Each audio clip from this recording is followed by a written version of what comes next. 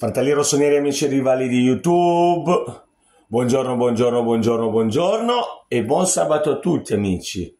Spero che mi scusiate se non è che ho tutta questa grandissima voglia di cantarvi il dai che sabato, dai che sabato, perché di dai che sabato non è che ci sia molto da raccontare a livello calcistico, perlomeno.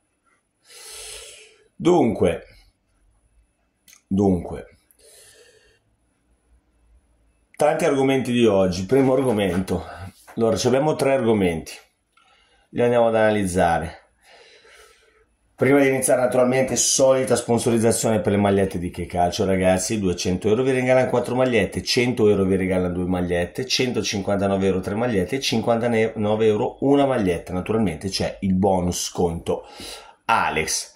Benissimo, ragazzi. Per i capelli mi contattate in privato, ragazzi. Sì, sono i miei oppure una epoca quando mi chiedete sì sono i tuoi ti rispondo Antonio Conte oggi ringrazio e saluto anche il mio amico Nicola come ragazzi saluto anche un gobbo visto che parliamo di Juve per la donazione di ieri il mio amico Nello Astrid, Astide si chiama su sempre che mi segue quando durante le mie dirette oggi il programma di oggi video stamattina un altro video oggi nel pomeriggio e naturalmente la solita live alle ore 21. Non mancate. Partiamo con gli argomenti. Allora, ieri la Juve pareggia di nuovo. Io, cioè, noi dovremmo essere disperati, ma c'è chi sta peggio di noi perché la Juve, ragazzi, sono 10 partite che non vince. E... Dito, sto leggendo il messaggio di Nicola. E adesso aspetta che ve lo vado a dire, vi vado a dire cosa mi ha scritto sono dieci partite che non vinci, noi ci lamentiamo, ma c'è gente che ci sta peggio di, che sta peggio di noi, eh. C'è gente che sta molto peggio di noi, perché io non so Allegri come fanno a tenerlo lì, e meno male che lo tengono. Cioè, speriamo che li rinnovano pure. Poi, naturalmente, la Juve da quante 10 partite che vince, la prossima mi sembra che sia contro di noi. Perfetto. La serie sua No, non la prossima, fra due partite mi sembra che contro di noi. Tranquilli tifosi gobbi che tanto noi quando giochiamo contro i morti, guarda, pareggerete o perderete, andate a giocare anche la prossima per poi vincere contro di noi. Perché noi se giochiamo contro i morti abbiamo un potere incredibile, li risuscitiamo.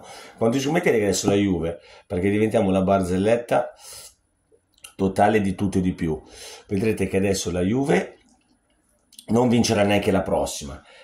E tornerà a vincere contro di noi perché io mi sento che le prossime due partite non le vinciamo anzi è già tanto che le pareggiamo. Ok sto parlando del derby. Per, per almeno salvare la faccia che non salveremo la faccia perché ormai la situazione è, è fuori controllo. Vedrete che andrà così. E vedrete che faremo risuscitare morti. Io le dire francamente la partita live non l'ho vista più di tanto. Ho visto l'autorete del Cagliari vabbè, sono cose che un difensore possono capitare e comunque Ranieri fa un altro punto, un altro passettino per, eh, per, conquistare la sua salvezza. Sapete che io sono pro Ranieri, tifo Ranieri. Un altro passettino in qua verso la salvezza. Grande Claudio, siamo tutti con te. Io dove va Ranieri, io tifo la squadra di Ranieri perché è un grandissimo signore, mi è troppo simpatico. Nicola oggi stamattina mi ha mandato un messaggio che mi ha detto ieri mia moglie mi ha detto ascolta dobbiamo prenotare le, dobbiamo, andiamo in piscina domani. Dai su muoviti prenota. E lui cosa gli ha risposto? Antonio Conte. Possiamo andarci a fare un giro domani un giro in centro? E lui cos'è che ha risposto? Antonio Conte. Giusto? cosa devo rispondere oggi? Antonio Conte. Qualsiasi domanda vi fanno voi rispondete. Antonio Conte. Benissimo questo era il primo argomento che diciamo che è quello meno piccante, perché adesso ce ne sono due che sono piccanti. Andiamo con ordine. Metti diti, no? Andiamo con ordine. Ho sentito, ho visto, mi ha mandato mio amico Roby Mac, mi ha mandato l'intervista rilasciata da Marcel Desailly, francese, eh? Amico, comunque grandissimo amico, di un compagno di squadra, eh, con grandissimo amico di un nostro giocatore che io non sto contestando lui, sto contestando lì Pioli con merito difeso con la squadra, io ti devo contestare alcune cose che sono alla luce del sole, anche quando sono andato con gli amici di OSV che saluto, ho avuto ragione io, loro dicevano assolutamente non cambiamo con Giroud perché dobbiamo anche, come sentito il mio amico Mirko, fare no, assolutamente no, non dobbiamo unitare la squadra. No, non è così ragazzi, come avevo, avevo ragione io, vi leggo le sue parole. Allora, ex Milan massacra Pioli. Come si fa a non schierare Ciucuzio dopo le ultime prestazioni? Come ha sottolineato il collega spagnolo Guti pochi giorni fa, Giroud rompe il lavoro dei compagni. Ciucuzeo, grande giocata alla Messi, elimina tre romani e gli offre caviale, ma lui la manda in curva. A Milano si innamorano facilmente di chi segna nel derby. Giroud può anche fare un gol a partita. No, a Milano si innamorano facilmente di chi segna nel derby. Giroud può anche fare un autogol a partita. Diranno grande Oli, autogol, scusatemi. Pioli non ha il coraggio di lasciarlo in panchina. Caro Pioli, se le tue emozioni vanno oltre, non dovresti allenare il Milan. Amo questo club dove ho giocato, rifiuto la gestione emotiva. Dobbiamo mettere chi sta bene. Come avevo detto io, deve giocare chi sta bene. Ok. Gioca in, eh, facilmente di ti dice con lui il Milan gioca in 10 perché non si muove. Io dico con Giroud l'avversario gioca in 12 con un difensore in più. Pensate come cazzo l'ha massacrato. Gente che comunque penso che ne capisce di, di spazio. Pioli non ha il coraggio di lasciarlo in panchina. Caro per le situazioni vanno oltre, non dovresti tenere il Milan. Amo, scusate, avevo già detto, dobbiamo mettere che sta bene. Abbiamo visto L'ingresso di Ciucuzeo cosa ha generato? Molto in gamba perché ogni volta Pioli rompe la sua continuità. A Madrid Ancelotti è un solo attaccante Joselu, visto che è poco decisivo, il Real mette davanti Vinicius e Rodrigo. Come dice Ancelotti per sostituire l'assenza del 9, si basa sui movimenti dei due brasiliani per creare presenza in area. Cosa ho detto io? L'attaccante esce fuori per mandare dentro i laterali, oppure l'Octuci che è quello che dovrebbe giocare dentro la punta, o comunque cross dal fondo, non dalla tre quarti, con l'inserimento dei centrocampisti. Tutto quello che ho detto in settimana. Tutto quello che ho detto io. Cazzo, metti il ditino? Scusami. Perfetto. No. Poi. Ta, ta, ta. Andiamo avanti, che lunga, eh? Andiamo avanti, che è molto lunga l'intervista. Cioè, molto lunga. È giusta, lunghezza giusta. Pioli deve usare meglio la testa, adattarsi a giocare senza 9 pure, imparare un po' dai grandi allenatori e smettere di gestire il Milan come un club normale di metà classifica. Siamo il Milan, se la, la Roma passa è imperdonabile. Sono dietro al Milan come rose classifica. Ieri grosso errore di Giroud e grosso errore di chi continua a schierarlo nonostante la sua forma non brillante. A quanto pare con Pioli non è che è in forma che gioca. Ciucuzeo e Okafor per meritarsi il posto devono segnare tre gol partendo dalla panchina quando la partita è già compromessa. Questa intervista, come sto accorgendo adesso, è stata fatta naturalmente dopo l'andata del Milan. Cosa è successo nel ritorno? Ha fatto gli stessi identici errori che ha fatto l'andata.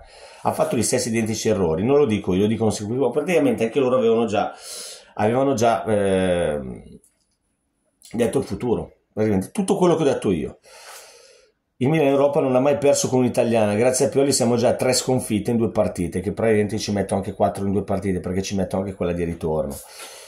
Due contro l'Inter, una contro la Roma, tra cui due in casa. Pioli, Rovina, Okafor su Cuzio, due ragazzi che possono dare molto al Milan, dichiara su Sport. Ciucuzio Cafor per meritarsi il posto devono segnare tre gol partendo dalla panchina quando la partita è già compromessa. Lo stesso discorso che aggiungo io, grazie. Lo stesso discorso che aggiungo io ha fatto su, su, su Adli. Ci ha messo un anno e mezzo per farlo giocare.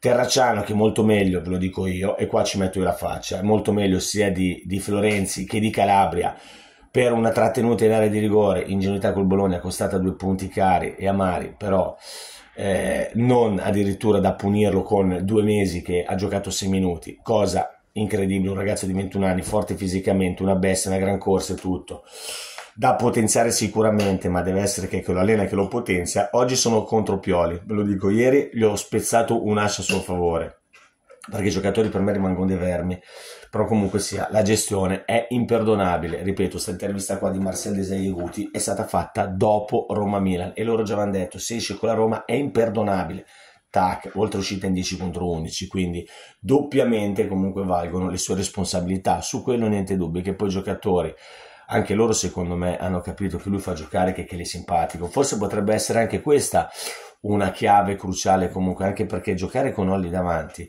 hai ragione distrugge il lavoro che fanno gli altri perché non tieni più un pallone. Se prima perlomeno teneva un pallone e la buttava dentro, adesso oltre che non segna, ti distrugge il gioco che facciamo. Non si fidano a dargliela sui piedi, ma non mi fiderei pure io.